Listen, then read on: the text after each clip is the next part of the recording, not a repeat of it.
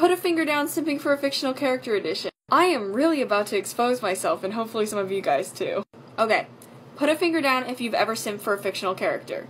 Put a finger down if this character has ever been your wallpaper on your phone or computer. Put a finger down if you have any kind of merch of this character. Put another finger down if you have a body pillow of them.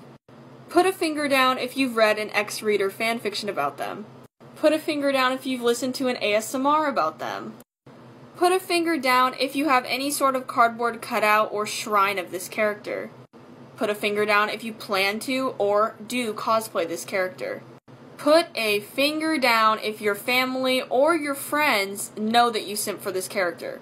And lastly, this may hit home for some of y'all, put a finger down if you've cried over this character not being real and laid in bed and just imagine them being real next to you and just silently just cried yourself to sleep because